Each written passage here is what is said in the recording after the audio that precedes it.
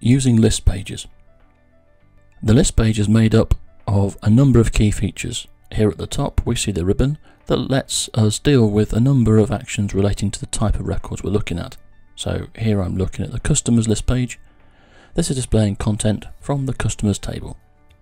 I have a number of features underneath this ribbon. So for example, on the right hand side, I have the fact box pane.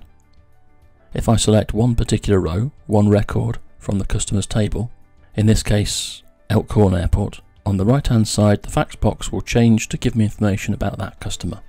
This is a handy reference to give me a quick overview of their information.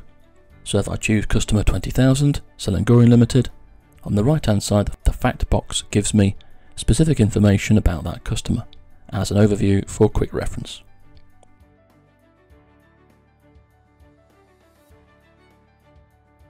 I can see that they have four orders and I can click the blue flow field to see those underlying four sales orders.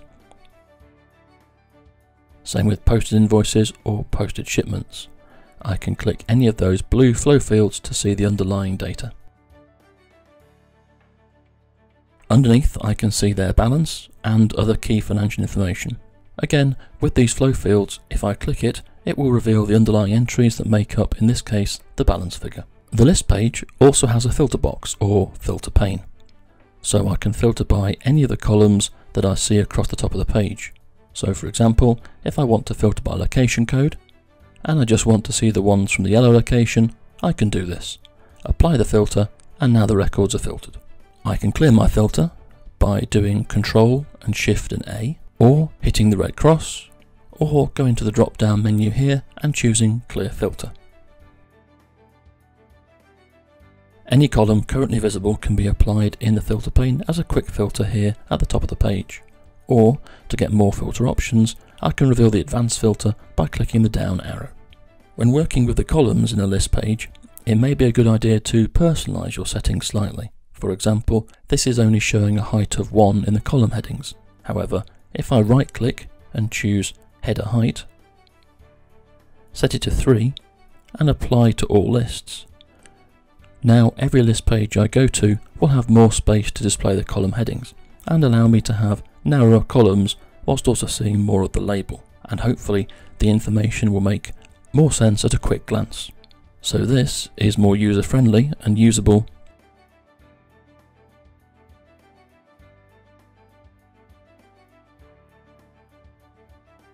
than this, especially for some of the longer column headings. When working with a list page, each line is a record from the related table. So here, each one of these is a customer on our customers table. If I click once to select the record, then as I mentioned, the fact box shows me information about that company. However, I can also go to the ribbon at the top and choose edit or view to see the card page for that record.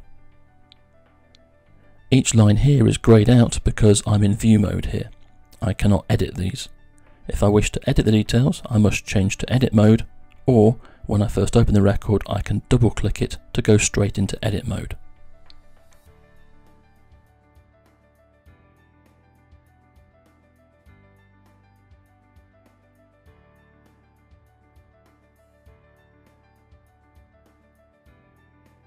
These I can now change.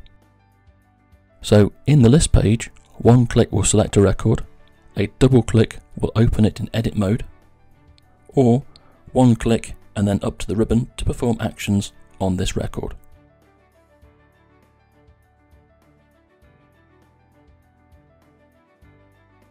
Once I have made changes to the layout of the customer's list page, if I come off that page and then return to it, the system will remember my settings. So if I make some of the columns wider to make it easier to see all the text, if I come off the page and then return to it, it remembers my changes. If I visit a different list page, for example the items list page, here it is pulling each line, each record, from the items table. It has kept the same setting of 3 lines height for the column heading, and then again I can easily widen these to make it easier to see the full column title. Same will apply on the sales orders list page.